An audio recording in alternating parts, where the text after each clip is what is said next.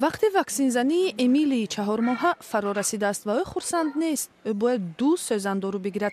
Вале шояд дар ояндаи наздик модараш худаш тавонад ваксинро бе сӯзандору ба ӯ бидиҳад.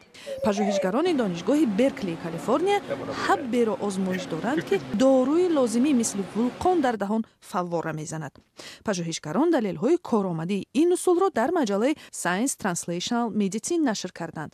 Моддаҳои гуногун сабаби реаксияи химиявӣ шуда ва ҳабро метарконад вақте фишор дар ҳаб зиёд мешавад он дар дохили даҳон бо суръати баланд берун меояд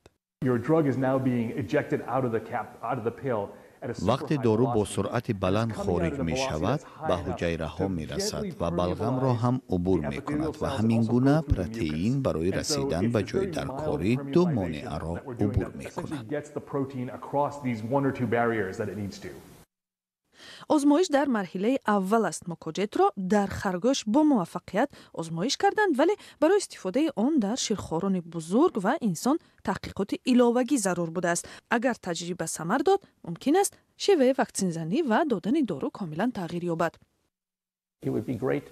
بسیار خوب می شود اگر شیوه بهتری واکسین زنی را داشته باشیم. بخصوص در دهات.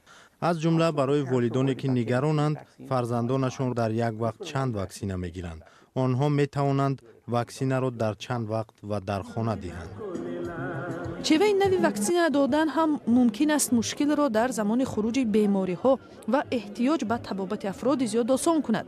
Пажӯҳишгарон сай доштанд мукоҷетро дар дохили меъда ҳам ба кор бибаранд. Дар ин ҳолат зарурати бо сӯзандору додани инсулин ба беморони қанд аз байн меравад. Вале ин ҳоло барои эмили ва модараш муҳим нест ва онҳо хурсанданд ки кори имрӯза ҳам тамом шуд